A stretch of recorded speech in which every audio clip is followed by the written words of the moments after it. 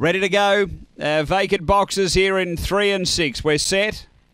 And away, and good speed. Mr. RJ is going to lead them up by two early. Uh, stack the aces driving through to second. They were followed four away by Crackerjack Jake and then Winburn Jerry. Uh, next is Ellie Starlight and Spring Irish back at the tail. They race to the back and the front runner, Mr. RJ, a length and a half on Stack the Aces. Crackerjack Jake and a couple away, closing Winburn Jerry. Three away is Ellie Starlight. Then came Spring Irish. It was back at the tail end up front.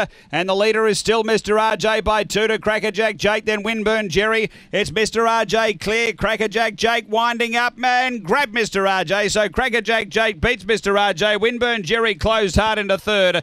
Then came Ellie Starlight, Spring Irish, and uh, back toward the tail end is Stack the Aces. The run here is around 35 and 30.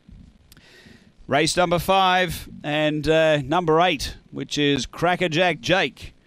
Proving too good here. Tim Richards. Uh, Tim Richards, S. Hayes, a fawn dog. March 2015, DJ's Octane, 5%. Two starts, two wins over the 600 metres. Number eight. Second to seven, Mr. RJ, Colin Swain. A uh, black dog, March 2014, Magic Sprite Mingle. Five, Winburn Jerry.